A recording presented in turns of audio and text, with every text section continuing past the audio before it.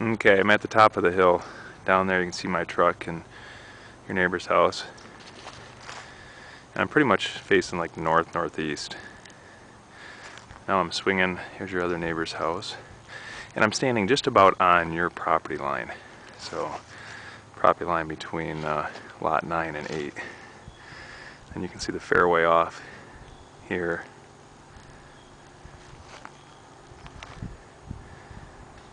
Now I'm swinging back, so I'm almost back to facing due west.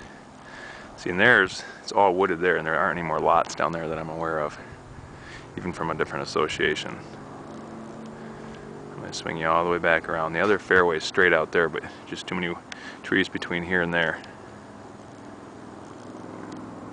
So there's a 360. You can see quite an elevation change between here and down to my truck.